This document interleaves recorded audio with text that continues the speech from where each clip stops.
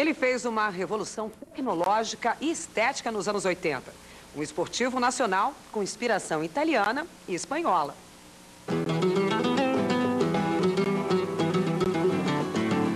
Estilo ele tinha.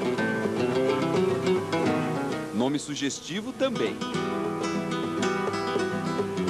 No DNA, referências de outra fera.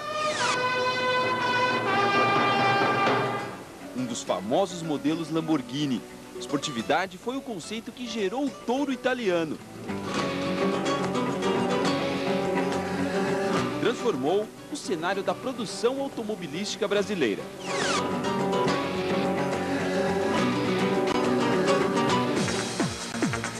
design de linhas retas parecia esticar a fibra de vidro da carroceria. Quem não deve gostar é o funileiro. Não tem problema de funilaria, né? Os para-choques em plástico davam mais leveza. Janelas pequenas sem quebra-vento, limpadores de para-brisa embutidos e faróis escamoteáveis. Ele é todinho de couro. Bancos, teto, laterais, painel, isso para a época e que não tinha ainda os importados, nossa, isso era algo inconcebível. O motor derivado da Brasília não era a melhor combinação. Ainda assim, e talvez pela proibição de importar que vigorava na época, o Miura era um sonho de consumo. Primeira vez que eu vi uma Miura, eu me apaixonei.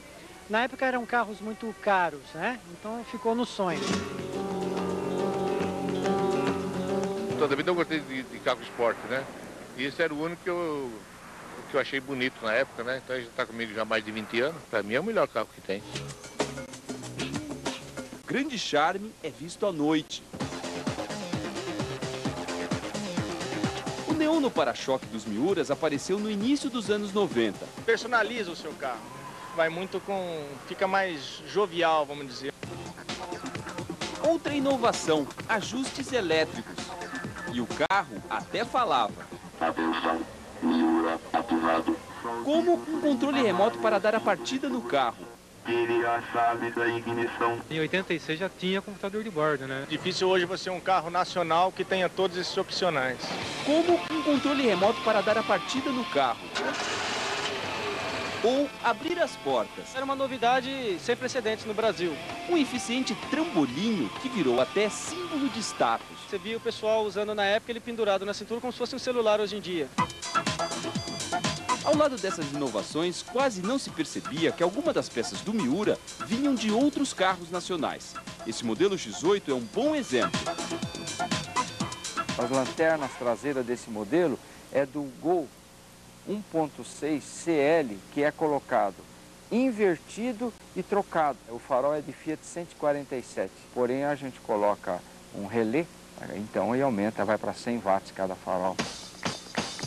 A produção do Miura foi encerrada em 92. Em quase 16 anos de produção, 12 modelos saíram da fábrica, em Porto Alegre, no Rio Grande do Sul. E nós tivemos notícia há pouco tempo que existe uma Miura até na Alemanha. Apesar de não ser mais produzido, o Miura continua fazendo uma bela tourada, sempre com um certo charme brasileiro.